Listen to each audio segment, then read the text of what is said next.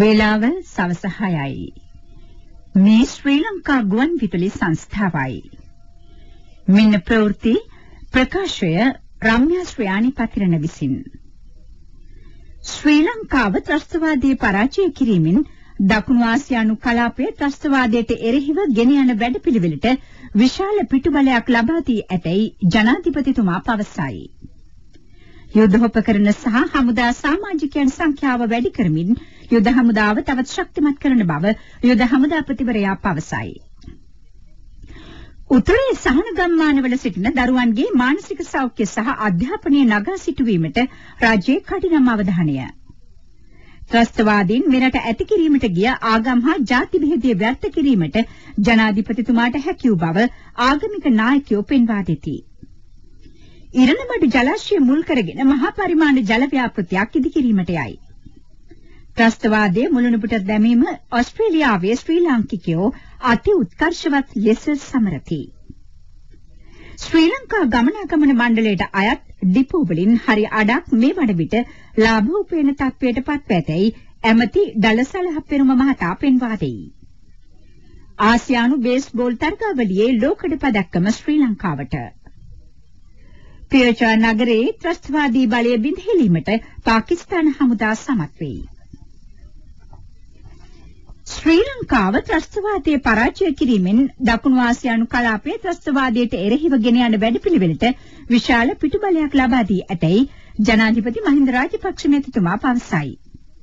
ඉන්දියාවේ ද වීක් පුවත්පත් සංග්‍රහව සමග සාකච්ඡාවකට එක්වෙමින් ජනාධිපතිතුමා මේ බව පවසා තිබේ. LTT ත්‍රස්තවාදයේ යුදමය වශයෙන් පරාජය කිරීමට ශ්‍රී ලංකාවට හැකිවිය. ඉන්දියාවේ හිටපු අගමැතිවරයෙකු වූ රජීව් ගාන්ධි මහතාගේ ඝාතකයා විනාශ කිරීමෙන් ඉන්දියාවටද ශ්‍රී ලංකාව සහාය වී තිබේ. LTTයට එරෙහි සටනේදී ඉන්දියා අගමැති මන්මෝහන් සිං මහතා කොංග්‍රස් පක්ෂ නායිකා සෝනියා ගාන්ධි මහත්මිය ඇතුළු සමස්ත ඉන්දිය ජනතාව ශ්‍රී ලංකාවට ලබා දුන් සහාය ජනාධිපතිතුමා අගය කර සිටී. රාජපක්ෂ මැතිතුමා ලබන මාසයේදී ඉන්දියාවේ නිල සංචාරයක් සඳහා සහභාගී වීමටද නියමිතයි. එහිදී ජනාධිපතිතුමා පෞද්ගලිකවම ඉන්දියානු නායකයන්ට සිය ස්තුතිය පළ කිරීමටද අපේක්ෂා කරයි. උතුරේ සහන කටයුතු පුනරුත්ථාපනය සහ නැවත ඉදිකිරීම සම්බන්ධයෙන් රාජපක්ෂ මැතිතුමා ඉන්දිය නායකයන් සමග සාකච්ඡා කිරීමට නියමිත බව එම සංකරාව වැඩිදුරටත් සඳහන් කරයි.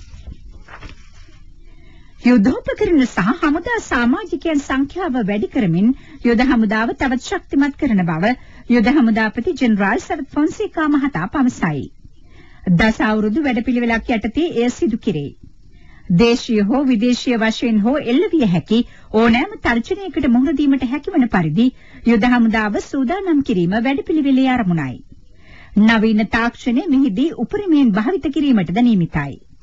දේශීය හා විදේශීය වශයෙන් ක්‍රියාත්මක වන ආකාරයෙන් බුද්ධි අංශය පුළුල් කිරීමටද අපේක්ෂිතයි. මේ සඳහා ජනාධිපතිතුමාගේ සහ රජයේ උපරිම සහාය ලැබී තිබේ. මුදාගත් ප්‍රදේශවල පුළුල් ආරක්ෂක වැඩපිළිවෙලක් ක්‍රියාවට නැංවේ. ඒ අනුව මුලතිව් හා කිලිනොච්චි ප්‍රදේශවල ආරක්ෂක සේනා මූලස්ථාන දෙකක් ස්ථාපිත කෙරෙනු ඇත. මේ වන විට යුද හමුදාව ලක්ෂ දෙකක බටපිරිසකගෙන් සමන්විතයි. එම සංඛ්‍යාව වැඩි කිරීමට රටේ තරුණ පරපුරේ සහාය තවදුරටත් අවශ්‍ය වේ. රටට ආදරය කරන කැපවීම කළ හැකි තරුණ තරුණියන්ට යුද හමුදාව සමග එක්වන්නයි හමුදාපතිවරයා ඉල්ලා සිටී. රට සංවර්ධනය කිරීමේ ජාතික කර්තව්‍යයේදී හමුදාවට සුවිශාල කාර්යභාරයක් ඉටු කළ හැකිය. ත්‍රස්තවාදීන්ගෙන් සම්පූර්ණයෙන් මුදා දුන් රටේ නිදහස අඛණ්ඩව පවත්වාගෙන යාම හමුදාව ශක්තිමත් කිරීම ප්‍රධාන ඉලක්කය බවද යුද හමුදාපතිවරයා වැඩිදුරටත් පෙන්වා දෙයි. උතුරේ සහන ගම්මානවල සිටින දරුවන්ට සහ කාන්තාවන්ට මානසික උපදේශන සේවා ආරම්භීමේ අවශ්‍යතාව ජනාධිපති ජ්‍යෙෂ්ඨ උපදේශක පාර්ලිමේන්තු මන්ත්‍රී බැසිල් රාජපක්ෂ මහතා පෙන්වා දෙයි. ඊයේ ජනාධිපති ලේකම් කාර්යාලයේ පැවති සාකච්ඡාවකදී හෙතෙම මේ බව සඳහන් කර තිබේ. සහන ගම්මානවල සිටින පහවසර ශිෂ්‍යත්ව විභාගයට පෙනී සිටීමට නියමිත දරුවන්ට අධ්‍යාපනය ලබා දීමට කොළඹින් ගුරුවරු පිටත් කර හැරීම පිළිබඳවද මෙහිදී අවධානය යොමු විය.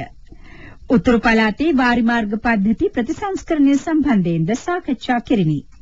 පරන්තන්නේ රසායනික කර්මාන්ත ශාලාව සහ කංකසන්තුරේ සිමෙන්ති කර්මාන්ත ශාලාව යලි ඉදිකිරීම කෙරෙහි රාජ්‍යයේ අවධානය යොමු වී ඇතැයි බැසිල් රාජපක්ෂ මහතා වැඩිදුරටත් පැවසීය. මෙම හමුවට ජනාධිපති ලේකම් ලලිත් වීරතුංග මහතා සහ දෙමළ නියෝජිතයෝ කිහිප දෙනෙක්ද එක්ව සිටියහ. මේ ප්‍රවෘත්ති ශ්‍රී ලංකා ගුවන් විදුලි සංස්ථාවෙන්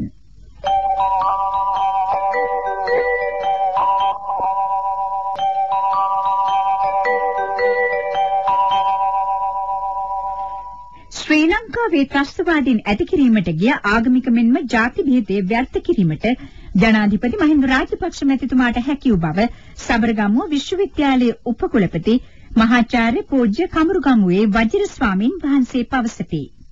ඊට ආරක්ෂක ලේකම්තුමාගේ ආරක්ෂක හමුදාවන්ගේ මෙන්ම ආගම් ભેදයකින් තොර එක් වූ මෙරට සියලු දේශප්‍රේමීන්ගේ සහයෝගයද ලැබිනි.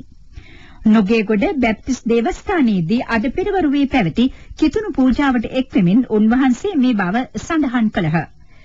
ජනාධිපතිතුමාට ආරක්ෂක ලේකම්තුමාට ත්‍රිවිධ හමුදාවට හා රටට සෙත්පතා මෙම කිතුණු පූජාව පැවැත්වින.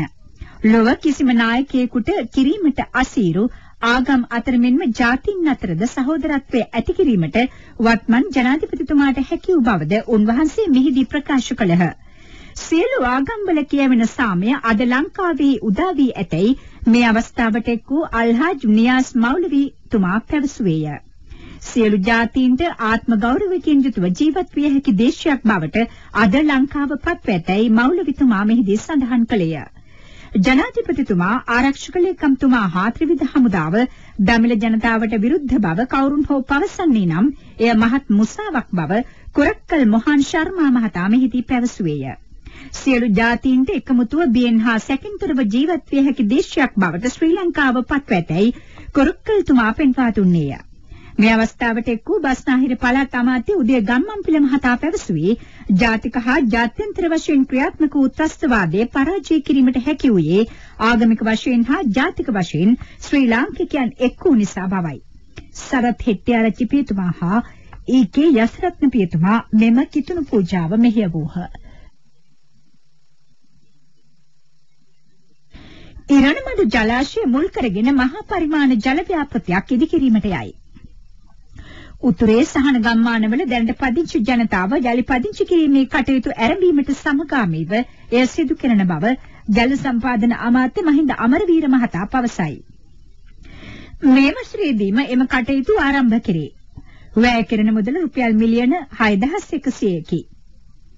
මේ අතර සහන ගම්මානවල සිටින ජනතාවට ප්‍රමාණවත් තරම් පානීය හා වෙනත් අවශ්‍යතා සඳහා ජලය සපයා ඇතැයි අමාත්‍යවරයා පෙන්වා දෙයි. නළලින් 100කට අධික සංඛ්‍යාවක් ඉදිකර ඇතැයි ඔහු පවසයි. ජල බවුසර් 100කට අධික ප්‍රමාණයකින් දිනපතා ජලය සැපේ. වෙනත් වාහනද ජලය ප්‍රවාහනය සඳහා යොදවා තිබේ. මල්වතුවෙන් ජලය ලබාගෙන සහන ගම්මානවලට ජලය සැපීම කෙරෙහිද අවධානය යොමු ඇත.